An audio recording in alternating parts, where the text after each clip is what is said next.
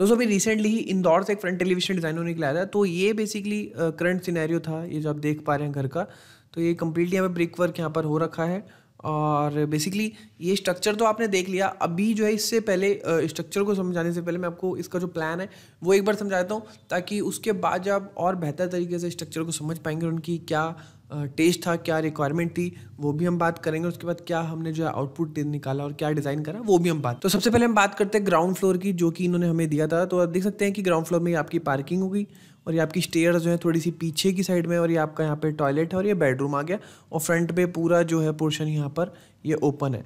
अब हम चलते हैं इसके ऊपर वाले फ्लोर की तरफ़। अब हम आ चुके हैं फ़र्स्ट फ्लोर की तरफ़ तो फ़र्स्ट फ्लोर में आप देख सकते हैं कि फ़र्स्ट फ्लोर में सबसे पहले देखिए स्टेयर्स तो वहीं की वहीं है और स्टेयर्स के बाद जो यहाँ पर आ गया आपका बेडरूम और बेडरूम के आगे है गैलरी अब देख सकते हैं बेडरूम की विंडो है और ये है पूरी गैलरी और ये यहाँ पर जो है इस तरीके से यहाँ पर टॉयलेट दे रखा है और फिर हम चलते हैं इसके ऊपर टेरिस व्यू की तरफ़। देख सकते हैं, ये आपका टॉप फ्लोर हो गया और टॉप फ्लोर पे अगेन यहाँ पर आप देख सकते हैं कि यहाँ पर आपका टॉयलेट हो गया।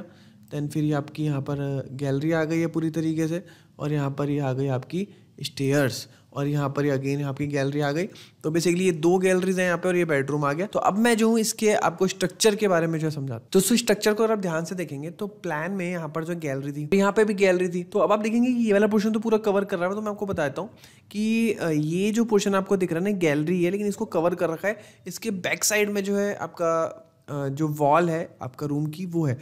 अगर आप देखिए इस फ़ोटो को अगर आप ध्यान से देखेंगे तो आपको दिखेगा कि अंदर की साइड में जो है ये जो आप देख सकते हैं, अंदर साइड में बेड की यहाँ पर जो है, जो बेडरूम का जो डोर है, उसकी चौकट है, ये लगी हुई है। अब देखिए दोस्तों, इसका साइड व्यू से मैं आपको दिखाता हूँ। साइड व्यू से आपको और क्लियर हो जाएगा। तो देखिए, ये जो वॉल है, ये बेडरूम की ये वॉल है जो अंदर आ रखी है और ये पूरा ओपन कर रहा है और यहाँ पर इन्होंने जो है, यहाँ पर ये इस तरीके से यहाँ पर जो है क्रिएट कर रखा है।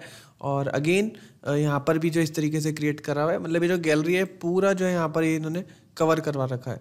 तो आई थिंक अब आप समझ गए होंगे और इनका पॉइंट ये था कि जो इन हमने बना दिया वो बना दिया, इसी में ही जो है अब कुछ क्रिएट करके हमें जो है दीजिए, जिससे कि हमें एक बेहतर आउटलुक मिल सके। तो सो ये जो आप सामने स्क्रीन पे फ़ोटो देख रहे हैं तो ये बेसिकली इन्होंने कुछ रेफरेंस है रेफरेंस इमेजेस जो कि इन्होंने भेजी थी। तो इस रेफरेंस से जो है इनके टेस्ट का हमें आइडिया लग गया कि टेस्ट इनका किस तरीके का है। दोस्तों अब हम चलते हैं फाइनल डिज़ाइन की तरफ़, जो कि हमने इनके लिए क्रिएट करा। तो आप देख सकते हैं कि यहाँ पे बाउंड्री वॉल को जो हमने यहाँ पर चेंज कर दिया था तो बाउंड्री वॉल में यहाँ पे एच का यूज़ कर रखा है। एंड इसमें आप देख सकते हैं कि नीचे यहाँ पे कोवलाइट का प्रोविज़न दे करके यहाँ पे नॉर्मल पेंट या फिर टेक्सचर पेंट का यूज़ कर रखा है और फ्रंट पे जो ग्रीनरी यहाँ पर जो हमने यूज़ कर रखी है, और एक ग्रे कलर आप पेंट में भी करवा सकते हैं, और सेम टाइम पे आप टाइल या फिर एचपीएल में भी जा सकते हैं। फिर यहाँ पे देख सकते हैं, यहाँ पर आपके अगेन यहाँ पे एच पी यहाँ पर यूज़ करा हुआ है और कम्प्लीटली यहाँ से जो है क्लोज करके यहाँ पे फोर वे लाइटिंग का यूज़ यहाँ पर कर रखा है। और यहाँ पर जो इनकी विंडो थी तो इसके आगे की साइड में हमने जो यहाँ पे जाली का यूज़ कर दिया है। और यहाँ पर जो काइंड ऑफ़ सी बना के इसे जो है, ये पूरा सी है। और ये जो पोर्शन है, यहाँ पे इसके आगे एक्सटेंड कर दिया है इसको।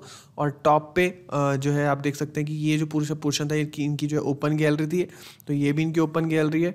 तो यहाँ पे भी इनकी ओपन गैलरी है। गैलरी सेम है, लेकिन लुक जो है दोनों का डिफ्रेंशिएट कर रखा है। तो इस तरीके से यहाँ पर क्रिएट करते हुए यहाँ पे सीलिंग में भी एचपीएल का यूज़ करा हुआ है और फ्रंट में यहाँ पे एमएस के बीम का यूज़ करके यहाँ पर ग्लास की रेलिंग यहाँ पर क्रिएट कर रखी है। और इसी के साथ साथ ही फ्रंट पे हमने दे, ध्यान से देखें तो यहाँ पर प्लांटिंग और प्लांट्स का भी यूज़ कर रखा है। तो दोस्तों, इस तरीके से आप देख सकते हैं कि किस तरीके से जो है हमने इस पुराने डिज़ाइन को इस तरीके से कम से कम तोड़ फोड़ में जो है इस तरीके से क्रिएट कर दिया और मटेरियल्स के बारे में अगर आप डिटेल में जानना चाहते हैं फन टेलीविज़न के तो हमारी ऐप को भी डाउनलोड कर सकते हैं। तो आज की वीडियो में इतना ही, मिलते हैं नेक्स्ट की वीडियो में, तब तक के लिए जय हिंद, वंदे मातरम।